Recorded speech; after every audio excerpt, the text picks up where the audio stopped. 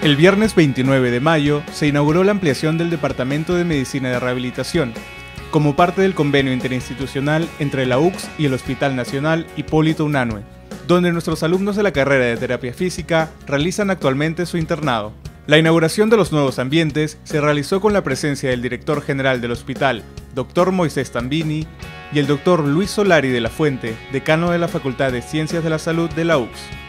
Como padrinos, participaron el coordinador académico de la facultad, Dr. Luis Neira de la Rosa, y la licenciada Melina Cruzado, coordinadora de la especialidad de terapia física y rehabilitación. He visto pacientes con problemas traumatológicos, pacientes que no podían caminar y actualmente con el trabajo que estamos haciendo están caminando con o sin ayuda biomecánica. Ampliar la calidad de vida, ampliar el mejoramiento en los planes de tratamiento, pues nos ha venido muy bien con esta obra. Estoy muy contento por pertenecer a la universidad y afianzar más esa alianza que se tiene. La ampliación favorecerá el servicio de medicina de rehabilitación, cuya labor beneficia a un gran número de pacientes del IMAESTE, así como el desarrollo académico de los internos.